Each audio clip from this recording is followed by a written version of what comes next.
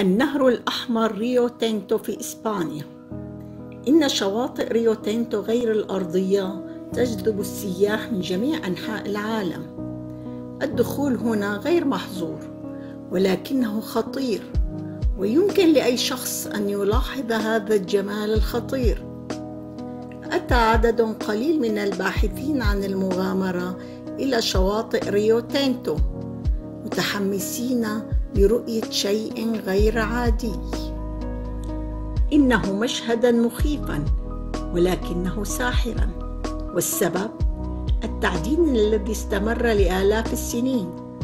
ولقد قاموا ببناء قرية كاملة لإيواء المهندسين والعمال وبناء خط سكة حديد بطول 300 كيلومتر لإستخراج خامات النحاس والذهب والفضة من ضفاف نهر ريو تينتو. في الثمانينات توقف العمل بالمناجم لكن المعادن لا تتوقف عن تأثيرها في النهر. وهذا هو السبب في لونها الغير طبيعي البرتقالي اللامع جنبا إلى جنب مع المناظر الطبيعية الخلابة. يخلق هذا النهر منظرا طبيعيا غير أرضي. إن مياه ريو تينتو مياه خطيرة. حموضتها أعلى من أي معايير آمنة. ووجدت عدة أنواع من البكتيريا.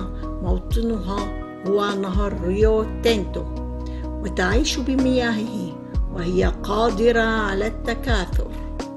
وإن زيادة حموضة مياه النهر ناتجة عن النشاط الحيوي لهذه الكائنات الحية الدقيقة. والنظام الغذائي لهذه البكتيريا هو من الحديد والمعادن.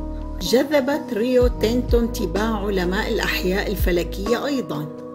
ليس فقط بمظهر النهر وألوانه وجماله بل بمحتواه القريب من عوالم أخرى. يعتقد العلماء أن الأنهار ذات التكوين المماثل قد تكون موجودة على كواكب أخرى مثل كوكب المريخ وكوكب المشتري. أحبائي لا تنسوا الاشتراك بالقناة والإعجاب بالفيديو وتفعيل الجرس.